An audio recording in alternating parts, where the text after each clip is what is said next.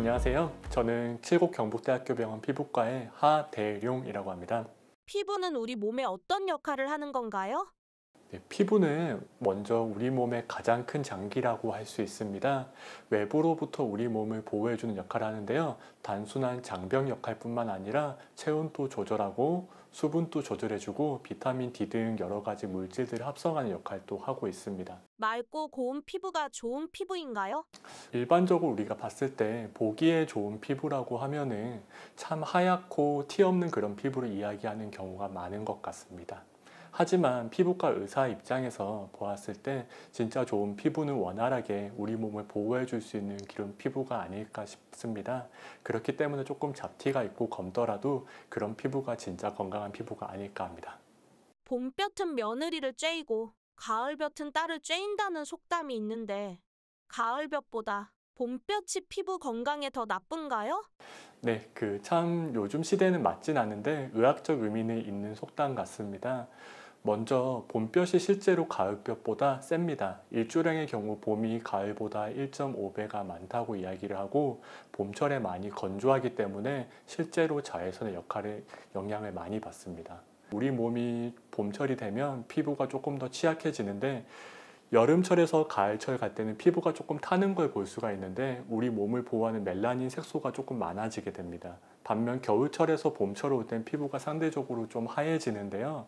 이것이 우리 몸을 보호하는 색소들이 부족하기 때문에 이 자외선에 조금 더 취약하게 됩니다. 따라서 봄볕이 조금 더 강하고 우리 몸도 취약하기 때문에 봄볕을 조금 더 조심해야 되는 이유가 될 것 같습니다. 봄철에 많이 발생하는 피부 질환은 어떤 것들이 있나요? 겨울철에서 봄철로 넘어올 때 이 팔이라든지 얼굴에 이런 햇빛 노출 부에 여러 가지 피부 병변들이 생길 때 광선에 의한 것들을 생각을 해볼 수가 있겠습니다. 가장 흔한 것은 이런 노출 부분에 두드러기가 발생하는 광 두드러기가 있을 거고 또 물집이나 여러 가지 발진 형태로 나오는 다형광 발진 그리고 습진 형태로 나오는 만성 광선 피부염 등이 있는데요. 겨울철까지는 괜찮다가 봄철이 되었을 때 이 갑자기 우리 몸의 노출 부위에 반복적으로 어떤 피부병이 생긴다면은 이런 것들은 햇빛과 연관된 가능성이 많기 때문에 이러한 경우 병원에 방문하셔서 직접 상담을 받아보시는 것들이 좋을 것 같습니다. 그 외로도 주근깨나 기미 이런 것들도 햇빛을 많이 받게 되면 많이 발생하기 때문에 이것들이 우리가 자외선을 피해야 되고 보호해야 되는 이유가 될 것 같습니다. 그렇다면 광과민증을 일으키는 약물이 있어요? 네, 요즘 같아서는 참 많은 약물을 복용하고 있기 때문에 이런 빈도가 늘어나는 것 같습니다. 특히 항생제라든지 아니면 류마티스과 약물 아니면은 여러 가지 소염제 당뇨약, 고혈압, 이뇨제 같은 경우 이렇게 우리 몸에서 광과민 반응을 일으키기 쉽게 만듭니다. 그렇기 때문에 겨울철에서 봄철로 왔을 때 햇빛 노출 부분에 반복해서 피부염이 생기는데 내가 최근에 생각했을 때 추가된 약물이 있다면 그런 약물과 관련된 것들을 고민해 볼 필요가 있을 것 같습니다. 자외선 차단제 구매 팁이 있다면요? 일반적으로 이야기할 때그 기상청의 홈페이지 들어가면은 참 그날 자외선 지수들이 잘 알려주고 있습니다.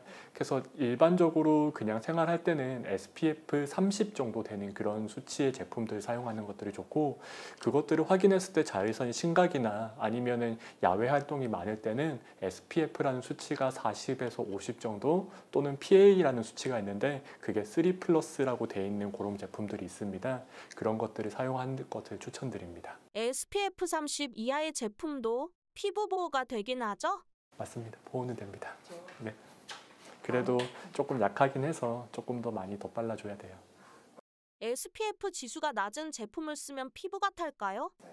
네, SPF는 그 자외선 B라고 하는 상대적으로 짧은 자외선을 차단하는 그런 역할을 하고 있고 그 PF라는 것은 UVA라고 해서 자외선 A라고 해서 상대적으로 긴 자외선인데 이 자외선을 차단하는 역할을 하고 있습니다. 1 플러스, 2 플러스, 3 플러스 이렇게 나타나게 되고 SPF의 경우 10, 20, 30, 40 이런 수치로 나타나게 돼서 그 수치가 높을수록 차단력이 높다고 생각하시면 될 것 같습니다. 자외선 차단제 사용 시 주의사항을 알려주세요.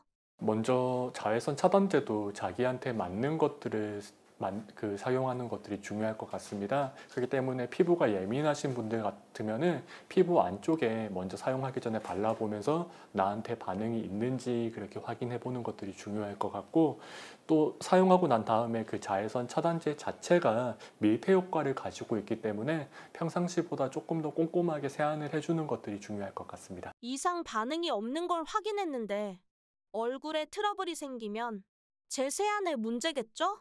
그런 경우도 많고 또 이게 하루 만에 반응이 안 나는 수 있어서 피부가 정말 예민하신 분들은 한 3일 정도 연달아서 발랐을 때 여러 가지 반응이 팔 안쪽이 가장 예민합니다.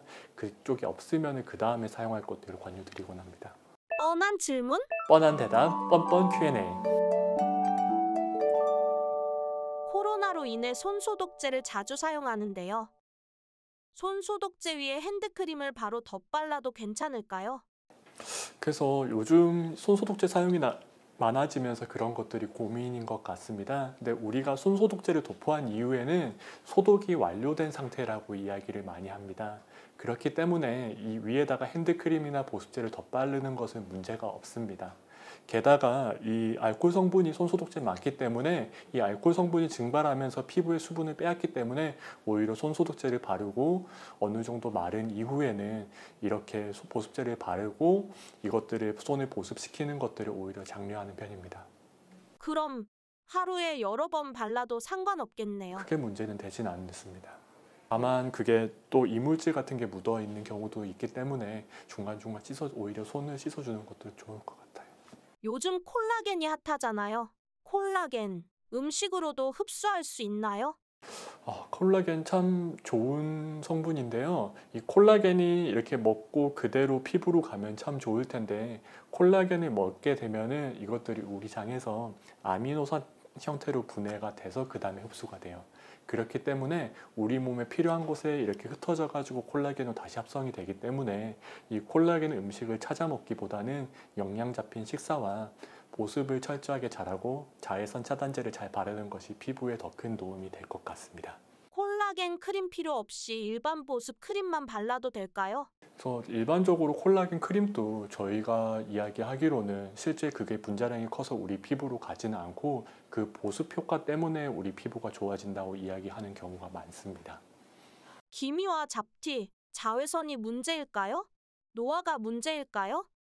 자외선 차단제를 오히려 안 발라서 생기는 경우가 많을 것 같습니다. 그래서 이 나이가 들면서 여러 가지 햇빛을 받고 그렇기 때문에 우리 몸은 그거의 보호작용으로 여러 가지 색소들을 만들기 때문에 이런 기미라든지 여러 가지 점들이 생기는 경우가 많은 것 같습니다. 그럼 자외선 노출 때문에 점이 생기는 거예요? 근데 그 자외선도 한 가지 이유가 될 뿐이지 우리 몸에서 이 점이 생기는 꼭 그 이유가 된다고는 하지는 않고요. 우리 몸에 무늬일 수도 있고 유전적 영향도 있고 참 다양한 원인들이 관여하기 때문에 꼭 그 자외선 이유 하나는 아니겠지만 어느 정도 큰 영향을 주는 건 맞는 것 같습니다. 피부에 점이 암일 수도 있다는데 이것도 자외선 때문인가요? 실제로 한국인의 경우 대부분의 피부암은 이 안면 노출부에서 발생하는 경우가 많습니다. 그것들을 종합해서 봤을 때 이 피부암 발생에 자외선이 어느 정도 역할을 하는 것도 많고 많은 부분 영향을 미치는 것도 맞는 것 같습니다.